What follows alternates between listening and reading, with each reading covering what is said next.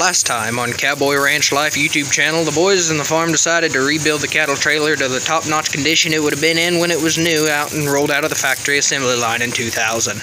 So, with 21 years of cattle trailer experience, the cattle trailer was looking a little bit abused and used, and the cattle needed a safer place to handle and to ride in. So, with that said, the cowboys decided to pull her in and put all new angle iron in it. So, welcome back to part two, ladies and gentlemen, where you'll continue to see the progress on the cattle trailer, all the way from paint to power wash to hauling cattle in the end. So thank you, ladies and gentlemen, for watching. Let's please continue. Alright, ladies and gentlemen, welcome back to the Cowboy Ranch Life YouTube channel, and today we're going to be finishing on part two of rebuilding the cattle trailer, power washing it, painting it, and hauling a load of cows in it. So nevertheless, stay tuned with us for more, please, and I hope you enjoy. Alright, y'all, so welcome back to part two. Uh, as you can see, we've got the cattle trailer drug out of the shop. We're just getting ready to paint it, and uh, we've got the first couple coats on it, but we're going to actually, we first paint the couple first coats, then we're to power wash it the rest of the way, clean all this up, because a lot of this is just, just junk that needs of there, and a lot of black. I don't know what causes this, but there's a bunch of black that settles on all of our items, and uh, so that would be the cause of a lot of this dirtiness. So we're to get it all power washed off, got it painted. As you can see, I wanted to point out that there is a little bit of rust still there, but that is just part of it. We couldn't get angle iron and cover up all the rust. It's 21 year old trailer, so it's not new anymore. But we're to make it as new as possible. So we got that end painted on that, y'all can see. And here's the other side. I excuse the noise, but my dad is power washing over there on another item, so that's this is next on the agenda. But we got it all painted up for the first round. We're to wash it all, and then we're to hit it with a paint the second time, and we'll show that. So ladies and gentlemen, stay tuned.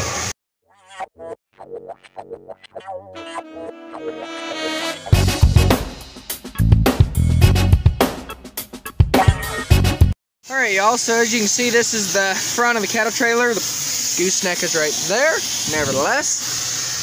These aluminum uh, pieces to hold on or cover up the metal seam, well, not supposed to be that way. So there's one good pop rivet, and the other four have just eventually worn out and broke. So I took a drill with a drill bit and drilled all the old pop rivet holes and the, off the aluminum piece. We're going to get some pop rivets and pop rivet that all back in, so then it'll look like the other side without any movement. So nevertheless, that's what we're working on right now.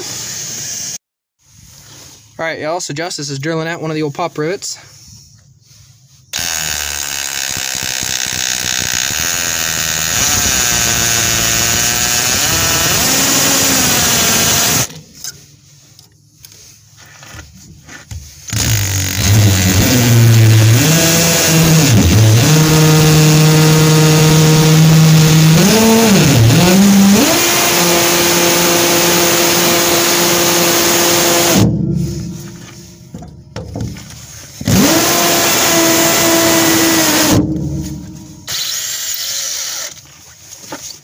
Go. Got through it and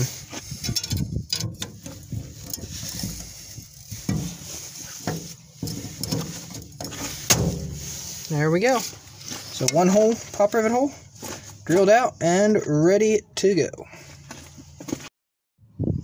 Alright guys, so how pop rivet works is, if you guys can see this little ball at the end, it is connected to this piece, and the pop rivet gun or whatever you call it, pulls this, which pulls that little BB in the end through its metal casing, which swells the casing, and then when it gets tight and big enough that it can't come anymore, this will pop off, and that ma what makes a pop rivet.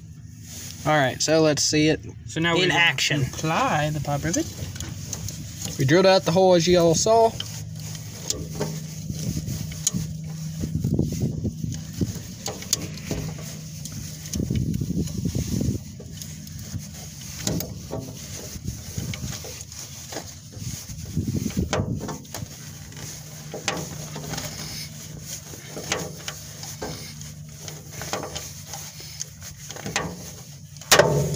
And there's one pop rivet applied.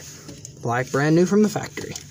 And there is one aluminum piece fixed with a drill bit and some pop rivets like new again.